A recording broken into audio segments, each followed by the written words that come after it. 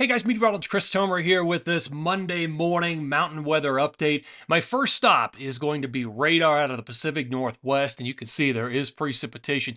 This is all part of the, the next storm system, the one that should hold together and bring snow to the Intermountain West. But you can see the rain, the snow there, and it is snowing up at a parts of Whistler. Um, here are the uh, live cams. It's rain at the base elevation, but generally above 6,000, we're seeing um, snowfall up there. You can see that Blackcomb Mountain, some snow. Whistler Peak, sure, certainly getting snow, 7,100 feet up there. It's coming down pretty good, but just wet at the base area. And there's some snow right there at 7,000 on the Glacier Express. So that's happening now. Let me give you the lay of the land on the, the water vapor satellite imagery. So drier air aloft is oranges and uh, reds, and then your moistures and your whites, your blues. Here's our big storm system spinning here, and there's even a low behind it as well.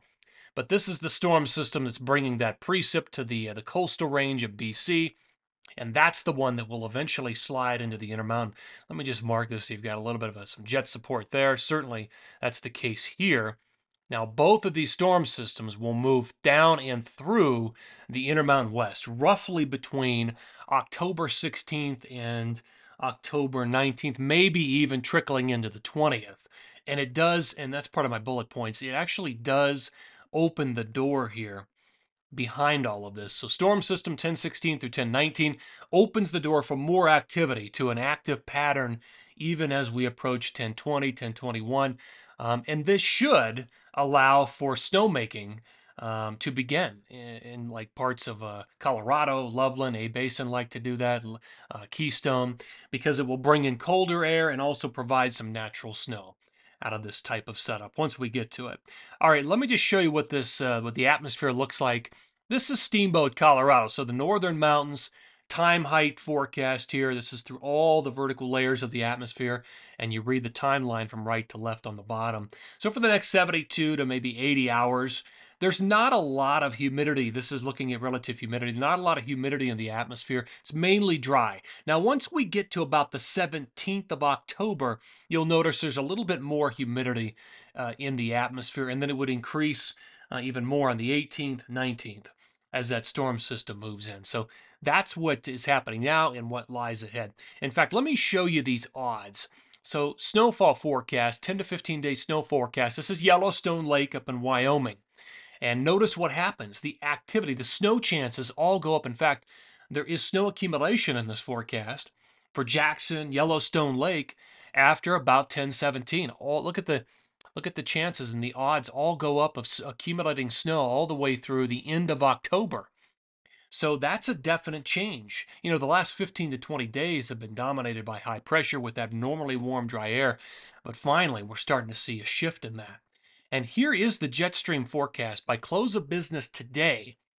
So look at the dip in the jet sitting over parts of the Gulf of Alaska and the northern Pacific. There it is by 1015. and Here it comes, 1016.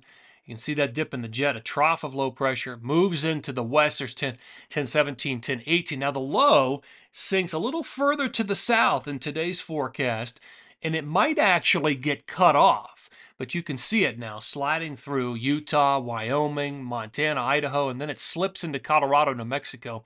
And it takes a couple of days for it to move out. And then the next setup hits the West Coast, the next dip in the jet by 1022 and 1023. So it does open that door to more activity. All right, looking at the uh, the forecast, radar and also satellite here. So by 5:30 this afternoon, here's the setup. You can see the precip up in the Pacific Northwest. Let me uh, throw this into the, the future. Here we go, 10:15 in the morning, 10:15 in the afternoon. Now, the, here comes the precip. There it is. Moves into the Intermountain West, rain and snow, depending on elevation. Um, this is kind of the leading edge of the storm system. So watch what happens by uh, Thursday afternoon. And notice behind it, there it kind of rebuilds. The second piece, or the main piece of the storm system, moves in with lower snow levels in other words, a lower rain snow line and just more snow accumulation. And then that one's more impressive. It actually starts to spin up, and that, that low I showed you at jet stream level, that dip in the jet, um, moves through Utah, Wyoming, and then through Colorado. Now, it's not quite as impressive in Colorado as it was yesterday, but this is where that low kind of gets cut off. over the four corners, New Mexico, Colorado, just kind of sits there, and then it kind of refires into 1020 and then it moves through Colorado and out. But look at the northern tier, Pacific Northwest. The activity continues up there all the way through 1022 and 1023. All right, snow forecast looks like this.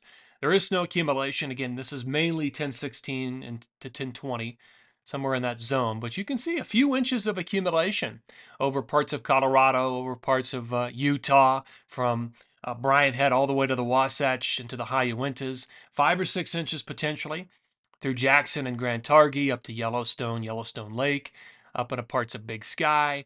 Uh, the, the the bulk of the accumulation is where we're going to see uh, you know additional storm systems roll through into parts of BC. I mean, we could see several inches up there at Whistler, all the way down to Baker. Um, I mean, look at look at north up there in the parts of Marmot Basin, we could see several inches of snow. So um, that's what we've got. That's what I see all the way through uh, 1023. We're finally starting to see the pattern shift. You know, and this first storm system really opens the door. And again, that extended snow forecast for Yellowstone Lake. I mean, there are snow chances that continue all the way through the end of October. Guys, thanks for tuning in here. Always appreciate it. Take care and have a great day.